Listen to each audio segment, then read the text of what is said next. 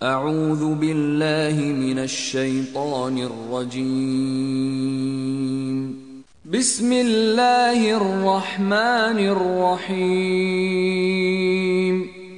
আলিফ লাম মিম মানুষ কি মনে করে যে তারা একথা বলেই অব্যাহতি পেয়ে যাবে যে আমরা বিশ্বাস করি এবং তাদেরকে পরীক্ষা করা হবে না আমি তাদেরকেও পরীক্ষা করেছি যারা তাদের পূর্বে ছিল আল্লাহ অবশ্যই জেনে নেবেন যারা সত্যবাদী এবং নিশ্চয়ই জেনে নেবেন মিথ্যুকদেরকে। যারা মন্দ কাজ করে, তারা কি মনে করে যে তারা আমার হাত থেকে বেঁচে যাবে? তাদের ফয়সালা খুবই মন্দ। যে আল্লাহর সাক্ষাৎ কামনা করে, আল্লাহর সেই নির্ধারিত কাল অবশ্যই আসবে। তিনি সর্বশ্রোতা, সর্বজ্ঞানী। যে কষ্ট স্বীকার করে সে তো নিজের জন্যই কষ্ট স্বীকার করে। আল্লাহ বিশ্ববাসী থেকে বেপরোয়া। আর যারা বিশ্বাস স্থাপন করে ও সৎ কর্ম করে, আমি অবশ্যই তাদের মন্দ কাজগুলো মিটিয়ে দেব এবং তাদেরকে তাদের কর্মের উৎকৃষ্টতর প্রতিদান দেব। আমি মানুষকে পিতামাতার সাথে সদ্ব্যবহার করার জোর নির্দেশ দিয়েছি। যদি তারা তোমাকে আমার সাথে এমন কিছু শরিক করার জোর প্রচেষ্টা চালায়, যার সম্পর্কে তোমার কোনো জ্ঞান নেই, তবে তাদের অনুগত্য করো না। আমারই দিকে তোমাদের প্রত্যাবর্তন, অতপর আমি তোমাদেরকে বলে দেব যা কিছু তোমরা করতে। যারা বিশ্বাস স্থাপন করে ও সৎ কাজ করে, আমি অবশ্যই তাদেরকে সৎকর্মীদের অন্তর্ভুক্ত করব। কতক লোক বলে আমরা আল্লাহর উপর বিশ্বাস স্থাপন করেছি। কিন্তু আল্লাহর পথে যখন তারা নির্যাতিত হয়, তখন তারা মানুষের নির্যাতনকে আল্লাহর আজাবের মতো মনে করে। যখন আপনার পালনকর্তার কাছ থেকে কোনো সাহায্য আসে, তখন তারা বলতে থাকে, আমরা তো তোমাদের সাথেই ছিলাম। বিশ্ববাসীর অন্তরে যা আছে, আল্লাহ কি তা সম্যক অবগত নন? আল্লাহ অবশ্যই জেনে নেবেন যারা বিশ্বাস স্থাপন করেছে এবং নিশ্চয় জেনে নেবেন যারা মুনাফি কাফিরা মুমিনদেরকে বলে, আমাদের পথ অনুসরণ করো। আমরা তোমাদের পাপভার বহন করব। অথচ তারা তাদের পাপভার কিছুতেই বহন করবে না। নিশ্চয়ই তারা মিথ্যাবাদী। তারা নিজেদের পাপভার এবং তার সাথে আরও কিছু পাপভার বহন করবে। অবশ্য তারা যেসব মিথ্যা কথা উদ্ভাবন করে, সে সম্পর্কে কেয়ামত দিন জিজ্ঞাসিত হবে। আমি নুহ আলাইসাল্লামকে তার সম্প্রদায়ের কাছে প্রেরণ করেছিলাম। তিনি তাদের মধ্যে পঞ্চাশ কম এক হাজার বছর অবস্থান করেছিলেন। অতপর তাদেরকে মহাপ্লাবন গ্রাস করেছিল। তারা ছিল পাপি। অতপর আমি তাকে ও নৌকা আরোহীগণকে রক্ষা করলাম এবং নৌকাকে নিদর্শন করলাম বিশ্ববাসীর জন্য। স্মরণ করো ইব্রাহিমকে, যখন তিনি তার সম্প্রদায়কে বললেন, তোমরা আল্লাহর ইবাদত করো এবং তাকে ভয় করো। এটাই তোমাদের জন্য উত্তম, যদি তোমরা বোঝো। তোমরা তো আল্লাহর পরিবর্তে কেবল প্রতিমারই পূজা করছ এবং মিথ্যা উদ্ভাবন করছ। তোমরা আল্লাহর পরিবর্তে যাদের ইবাদত করছ, তারা তোমাদের রিজিকের মালিক নয়। কাজেই আল্লাহর কাছে রিজিক তালাশ করো, তার ইবাদত করো এবং তার কৃতজ্ঞতা প্রকাশ করো। তাঁরই কাছে তোমরা প্রত্যাবর্তিত হবে। তোমরা যদি মিথ্যাবাদী বলো, তবে তোমাদের পূর্ববর্তীরাও তো মিথ্যাবাদী বলেছে। স্পষ্টভাবে পয়গাম পৌঁছিয়ে দেওয়াই তো রসুলের দায়িত্ব। তারা কি দেখে না যে আল্লাহ কীভাবে সৃষ্টিকর্ম শুরু করেন, অতপর তাকে পুনরায় সৃষ্টি করবেন? এটা আল্লাহর জন্য সহজ। বলুন, তোমরা পৃথিবীতে ভ্রমণ করো এবং দেখো কীভাবে তিনি সৃষ্টিকর্ম শুরু করেছেন, অতপর আল্লাহ পুনর্বার সৃষ্টি করবেন। নিশ্চয়ই আল্লাহ সবকিছু করতে সক্ষম। তিনি যাকে ইচ্ছা শাস্তি দেন এবং যার প্রতি ইচ্ছা রহমত করেন। তারই দিকে তোমরা প্রত্যাবর্তিত হবে। তোমরা স্থলে ও অন্তরিক্ষে আল্লাহকে অপারক করতে পারবে না এবং আল্লাহ ব্যতীত তোমাদের কোনো হিতাকাঙ্ক্ষী নেই, সাহায্যকারীও নেই। যারা আল্লাহর আয়াতসমূহ ও তার সাক্ষাৎ অস্বীকার করে, তারাই আমার রহমত থেকে নিরাশ হবে এবং তাদের জন্যই যন্ত্রণাদায়ক শাস্তি আছে। তখন ইব্রাহিমের সম্প্রদায়ের এছাড়া কোনো জবাব ছিল না যে তারা বলল, তাকে হত্যা করো অথবা অগ্নিদগ্ধ করো। অতপর আল্লাহ তাকে অগ্নি থেকে রক্ষা করলেন। নিশ্চয়ই এতে বিশ্বাসী লোকদের জন্য নিদর্শনাবলী রয়েছে। ইব্রাহিম বললেন, পার্থিব জীবনে তোমাদের পারস্পরিক ভালোবাসা রক্ষার জন্য তোমরা আল্লাহর পরিবর্তে প্রতিমাগুলোকে উপাস্যরূপে গ্রহণ করেছ। এরপর কেয়ামতের দিন তোমরা একে অপরকে অস্বীকার করবে এবং একে অপরকে লানত করবে। তোমাদের ঠিকানা জাহান নাম এবং তোমাদের কোনো সাহায্যকারী নেই। অতপর তার প্রতি বিশ্বাস স্থাপন করলেন লুত। ইব্রাহিম বললেন, আমি আমার পালনকর্তার উদ্দেশ্যে দেশ ত্যাগ করেছি। নিশ্চয় তিনি পরাক্রমশীল প্রজ্ঞাময়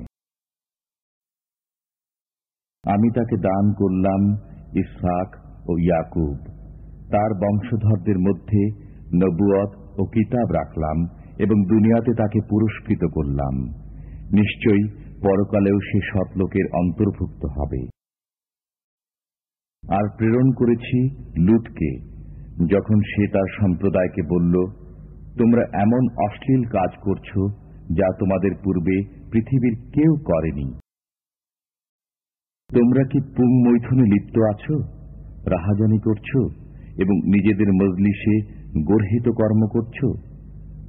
জবাবে তার সম্প্রদায় কেবল এ কথা বলল, আমাদের উপর আল্লাহর আজাব আনো যদি তুমি সত্যবাদী হও। সে বলল, হে আমার পালনকর্তা দুষ্কৃতকারীদের বিরুদ্ধে আমাকে সাহায্য করো। যখন আমার প্রেরিত ফেরেস্তাগণ সুসংবাদ নিয়ে ইব্রাহিমের কাছে আগমন করল, তখন তারা বলল, আমরা এই জনপদের অধিবাসীদেরকে ধ্বংস করব। নিশ্চয়ই এর অধিবাসীরা জালিম। সে বলল, এই জনপদে তো লুতও রয়েছে। তারা বলল, সেখানে কে আছে তা আমরা ভালো জানি। আমরা অবশ্যই তাকে ও তার পরিবার বর্গকে রক্ষা করব, তার স্ত্রী বেদিত সে ধ্বংসপ্রাপ্তদের অন্তর্ভুক্ত থাকবে। যখন আমার প্রেরিত ফেরেস্তাগণ লুতের কাছে আগমন করল, তখন তাদের কারণে সে বিষণ্ন হয়ে পড়ল এবং তার মন সংকীর্ণ হয়ে গেল। তারা বলল, ভয় করবেন না এবং দুঃখ করবেন না। আমরা আপনাকে ও আপনার পরিবার বর্গকে রক্ষা করবই, আপনার স্ত্রী বেদিত সে ধ্বংসপ্রাপ্তদের অন্তর্ভুক্ত থাকবে। আমরা এই জনপদের অধিবাসীদের উপর আকাশ থেকে আজাব নাজিল করব তাদের পাপাচারের কারণে। আমি বুদ্ধিমান লোকদের জন্য এতে একটি স্পষ্ট নিদর্শন রেখে দিয়েছি।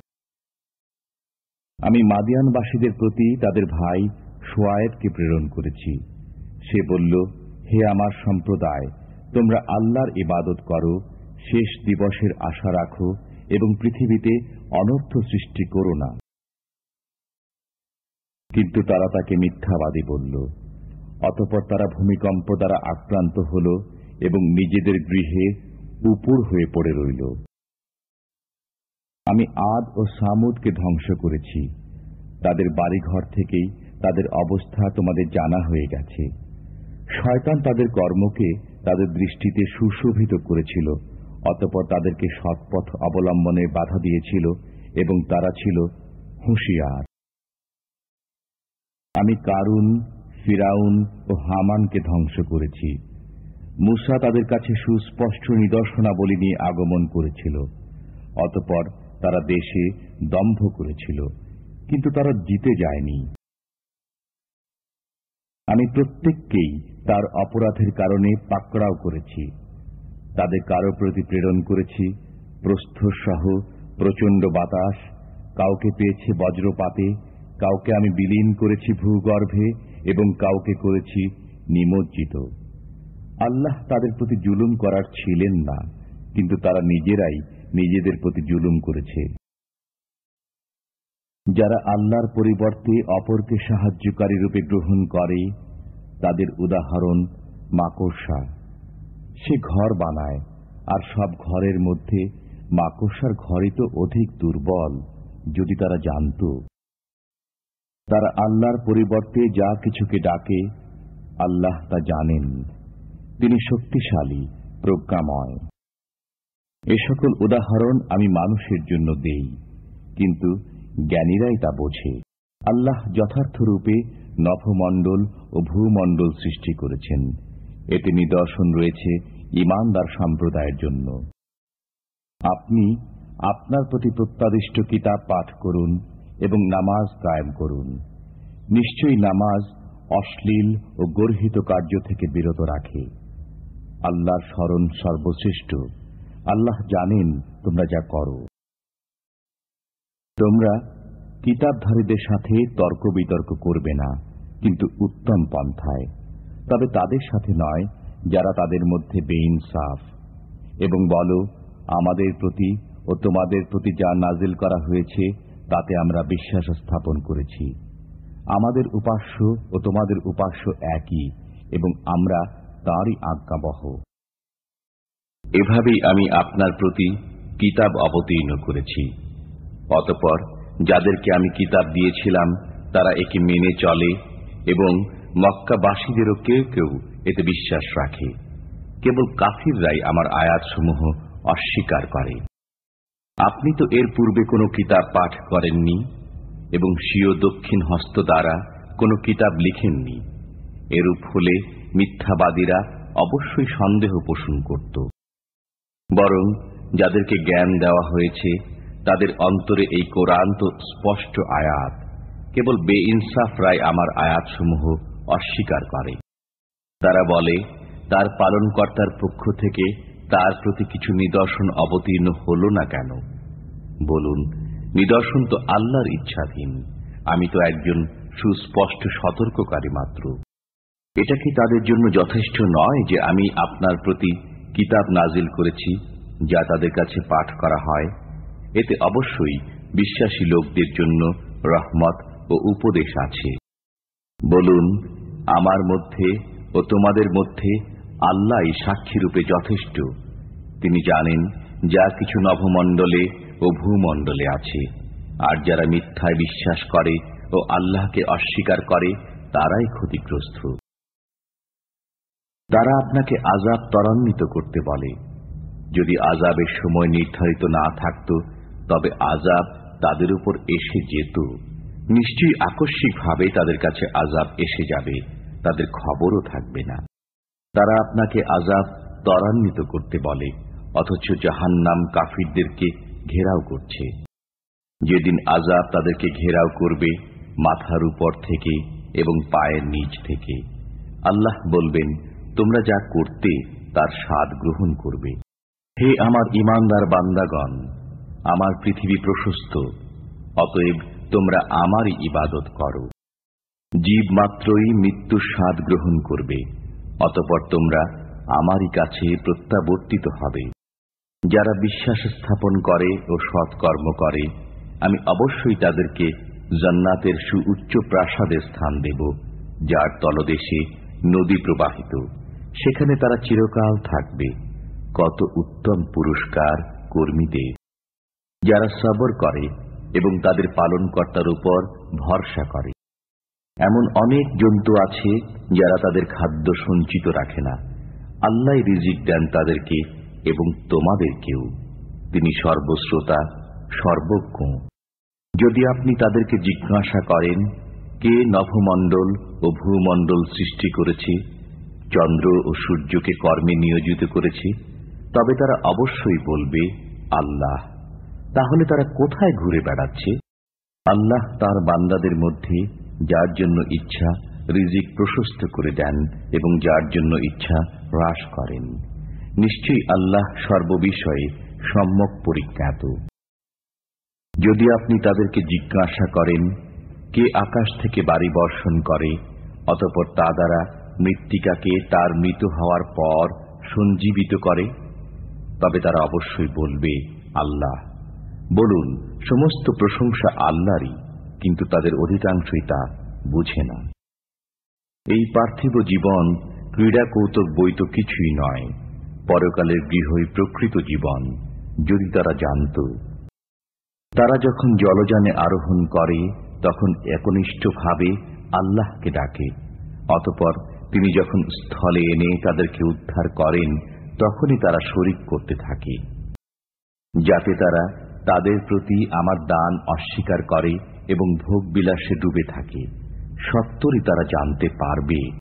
তারা কি দেখে না যে আমি একটি নিরাপদ আশ্রয়স্থল করেছি? অথচ এর চতুর্পার্শ্বে যারা আছে, তাদের উপর আক্রমণ করা হয়। তবে কি তারা মিথ্যাই বিশ্বাস করবে এবং আল্লাহ নিয়ামত অস্বীকার করবে? যে আল্লাহ সম্পর্কে মিথ্যা কথা গড়ে, অথবা তার কাছে সত্য আসার পর তাকে অস্বীকার করে। তার চাইতে অধিক বেইনসাফ আর কে? যারা আমার জন্য অধ্যবসায় করে, আমি অবশ্যই তাদেরকে আমার পথে পরিচালিত করব। নিশ্চয়ই আল্লাহ সৎ কর্মপরায়ণদের সাথে আছেন।